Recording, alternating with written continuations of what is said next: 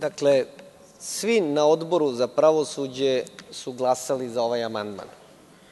I ovaj amandman jeste dobar. Ja sam rekao ranije kada sam govorio o amandmanima, dobro je to što smo neke četiri sudske jedinice koje su postojale do današnjeg dana uspeli da očuvamo i da se izborimo da one postoje i dalje. Ono što ne valja, to je što 40 sudskih jedinica se ipak ukida. Ja ne mogu da budem zadovoljan do kraja i amandmanom Odbora, jer amandman Odbora rešava pitanje Ćuprije, Kovačice, Varvarina, Bogatića, ali ne rešava pitanje 40 opština u kojima se ukidaju sudske jedinice.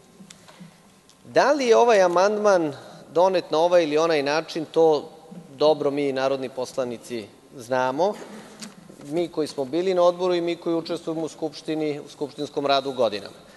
Kolega Petar Petrović, koji je predsednik Odbora i poslanička grupa Jedinstvene Srbije, koja je podnela praktično skoro identičan amandman ili da kažem sličan amandman, je uspela da izlobira kod Vlade da ovaj amandman bude prihvaćen. I zato je takav amandman bio prihvaćen i na Odboru.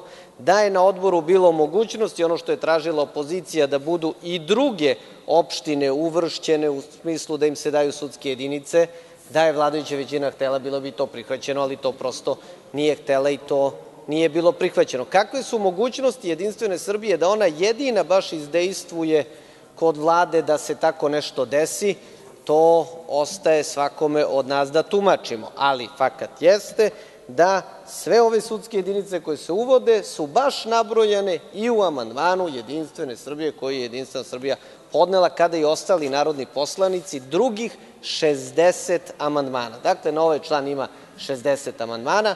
Praktično ovo je prihvaćeno, drugo nije prihvaćeno i nadam se da ćemo neki idući put uspeti i mi na neki način da ubedimo Vladu da prihvati naše stavove. Hvala.